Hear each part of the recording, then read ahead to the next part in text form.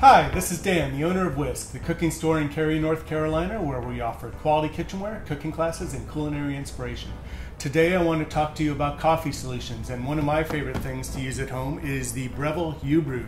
The reason I like this is because it enables me to make coffee just for myself or for a whole group of people if I'm having a party. It's a very flexible machine.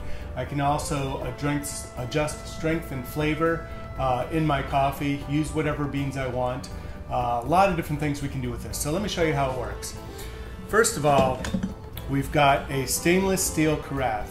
And I have found that when I make coffee, if I make coffee this morning, by the next morning that coffee is still warm. So this carafe holds heat for a long time. Definitely, you know, you make coffee in the morning and by noon or one o'clock, that coffee is still hot. So I love that feature on this. The other feature I love is that if I have a travel cup, I can put it right in here. And if I have a bigger travel cup, put it right in here. So I can take my travel cup, just make a single cup at one time, and off I go. I don't need to make a whole carafe of coffee. In here, we have the hopper, and this is where we put the coffee beans. The nice thing about the hopper is it unlocks. And if you wanted to get an extra hopper, Breville does sell an extra hopper that you can get. The beans in the hopper uh, go down here. It even comes with this neat little brush just to kind of clean out uh, anything that needs to be cleaned out, any ground coffee. But I'm just going to put that hopper back in and I'm going to lock it in. In a minute we're going to make coffee, but I want to show you a few of the buttons.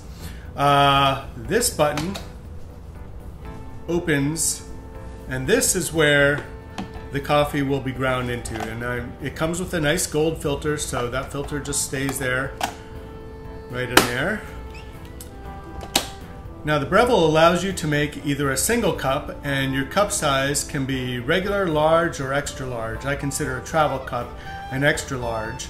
Or you can make a carafe and your carafe can have as many cups as you want. You can go anywhere from 2 cups to 12 cups. It's not showing me right now until I pour some water in.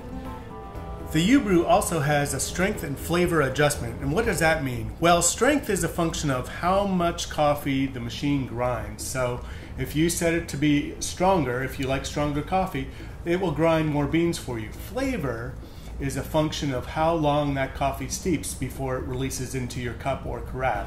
And so you can choose the level of flavor that you like. And I highly recommend that you know everybody is using different beans so i highly recommend you get a get some coffee beans that you like and then play with it a little bit and see what you like and once you kind of know your settings then you're good to go it also has a programmable time clock and the nice thing about that is i set that at night when I wake up in the morning, uh, that coffee is ready to go. So whatever time I wake up, I set the coffee machine to go and grind beforehand, and then it is ready to go when I go.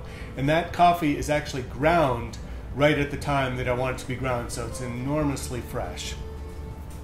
So let's go ahead and make some coffee. First thing I'm going to do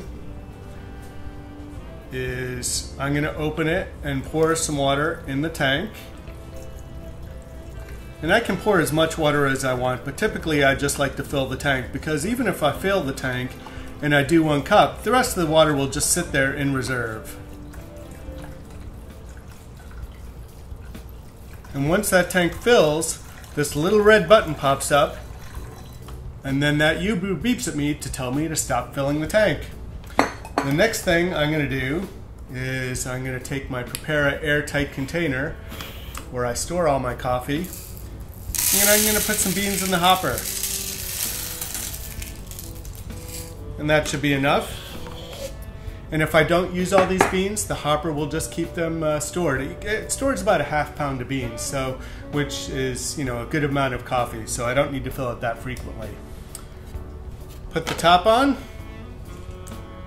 I put the carafe under. I press start, and off we go. Have been ground and this machine is telling me that in 11 minutes and 9 seconds we are going to have coffee. So time to go do other things and wait just a few minutes because I'm ready for a good cup of coffee.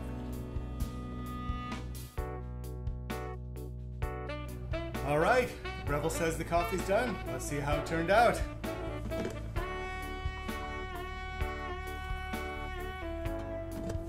I like my coffee strong, so it's got a beautiful darkness, steaming hot.